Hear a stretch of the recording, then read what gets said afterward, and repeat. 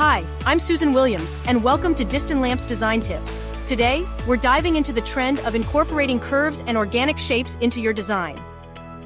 Curves and organic shapes are all the rage, adding a sense of flow and softness to any space. This trend can be implemented in both large structural changes and small decorative details. Consider adding interior arches to doorways and hallways to create a seamless transition between rooms. Curved furniture, like sofas and coffee tables, can make your living area feel more inviting and dynamic.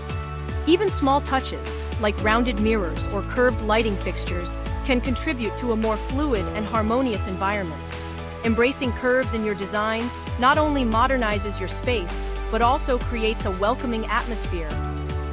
For more tips on how to incorporate curves and organic shapes into your home decor and to find the perfect lighting to enhance your design, visit us at distinlamp.com. Thanks for watching.